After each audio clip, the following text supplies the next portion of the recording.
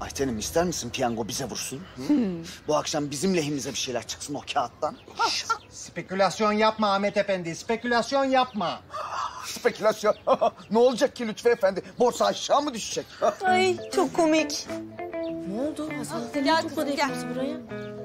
Şevki Bey son derece faydasız bir olaya imza atmış kızım da Hasan Efendi onu anlatacak bize. Deden mi? Ne, ne imzalamış ne olmuş? Evet canım, senin deden Şevki Bey. Gel oğlum gel. Gel otur oğlum. Siz beraber mi geldiniz? Yok kapıda karşılaştık. Ha iyi. Ay yani şey tesadüf çok çok da tesadüf olmuş. Nerede bu adam ya? Allah Allah. Dizdi bizi buraya boncuk gibi.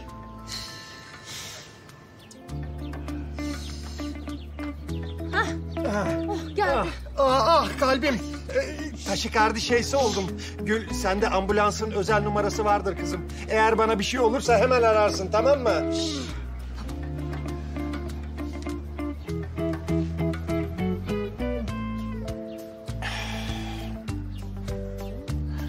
Lütfü, bugün şansın yaver gitti. evet şansım bugün çok yaver gitti. Ve... Bu kağıdı buldun. Evet ben buldum. Buldu. Şimdi aranızda bu kağıdı merak edenler etmeyenler el kaldırsın. Demek merak eder. Hasan Efendi. Baba. Bir, iki, üç, dört. Ha, Çoğunluk merak ediyor.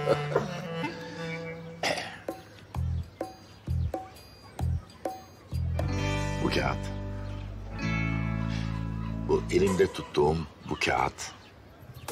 Bu dikdörtgen mektup.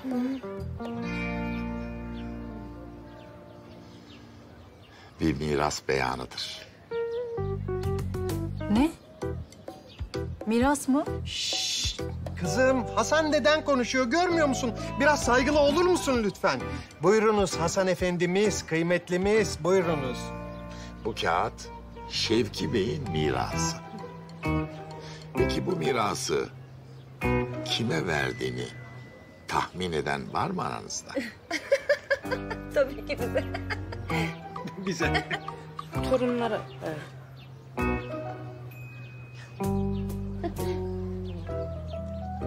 Yok artık.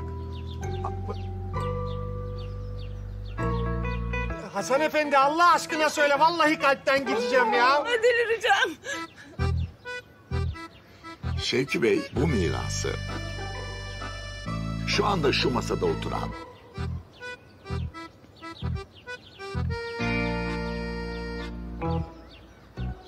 Sarp'a bıraktı.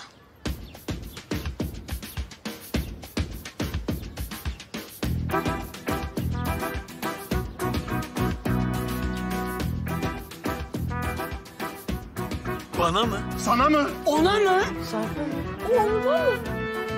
Yalnız bir şartla. Sarp bu mirası ancak evlendiği zaman alabilecek. Ay evlenir olur biter zaten zamanında gelmişti. Senin bir dur Allah aşkına. Anne ne diyorsun ya? Ne diyeceğim? Şevki Bey ölmeden önce beni yanına çağırdı ve beni şahit gösterip bu miras beyanında bulundu. Ee, ona saygımdan ve şehadet ettiğimden bu mirası takip etmek zorundayım. Yani sen ancak bu mirası evlendiğin zaman alabileceksin Sarp. Hasan Efendi, e, bu, bu, bu mirastaki söz konusu meblağ ne kadar bir tutar acaba?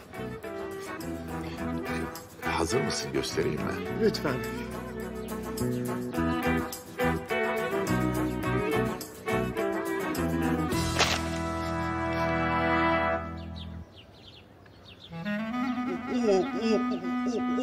Oha!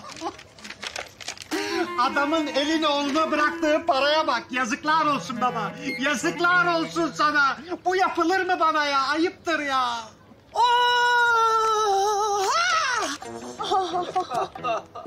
Dedeciğim ya. Burada gül gibi torunun varken elin torununa bırakılır mı miras ya?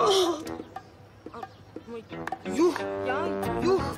Yazıklar olsun baba sana. Ya sen beni cami avlusunda mı buldun? Leylekler mi teslim etti beni sana? Bu nedir ya? Bu nedir baba Allah aşkına ya? Dedem sana neler neler bıraktı da babacığım. Sen değerini bilemedin. Hepsini batırdın. Nermin, bu kız benden mi? Emin misin? Bendense niye Japonlara benziyor bu kız? Saçma sapan konuşma. Evet, herkes her şeyi öğrendiğine göre herkes işinin başına dönebilir. Nasıl ya bu kadar mı? Bu kadar. Ne demek bu kadar Hasan Efendi? Yani şimdi bu çocuk hiç evlenmezse ne olacak? Yani bu paralar, bu canım paralar öyle yattığı yerde kuzu gibi yatacak mı yani? Lütfü, bak bir daha tekrar ediyorum. Miras Sarp'ındır. Sarp bu mirası ancak evlendiği zaman alabilir. Yani Sarp ne zaman isterse evlenebilir. Şimdi evlenebilir, yarın evlenebilir. On sene sonra evlenebilir, hiç evlenmeyebilir. Onu Sarp bilir. Bir dakika ya. Benim oğlum niye evlenemesin hem ya? Evlenir. Benim oğluma çıkan kısmetler buradan köye yol olur Lütfü Bey. Köy olur. Da oğlum istemiyor diye ben şey yapıyorum. Anne yeter. Ben henüz evlenmeyi düşünmüyorum. Bu konuyu burada kapatalım. Bir daha da açmayalım olur mu? Soyumuz mu kurusun? Anne lütfen. Ne? Bence de. Bence de evlenme örümcek adam. Tabii biz evlendik de ne oldu? Bak babanla benim halime bak. Biz evlendik de ne oldu yavrum? Evlenme. Bak adamın kafasında saç kalmamış. Ya olanlar da zaten yarısı beyaz yarısı gri. Gri saç olur mu? Ama oluyor işte. Ne yapsın? Her şeyi gri adamın. Tişört gri, penye gri. Pantolona hiç bakma zaten o hep gri. Ben nasıl? Mor. Mosmor. Beni bitirdin Lütfü. Beni bitirdin. Nesi varmış benim kocamın Lütfü Bey ya? Hadi herkese iyi akşamlar.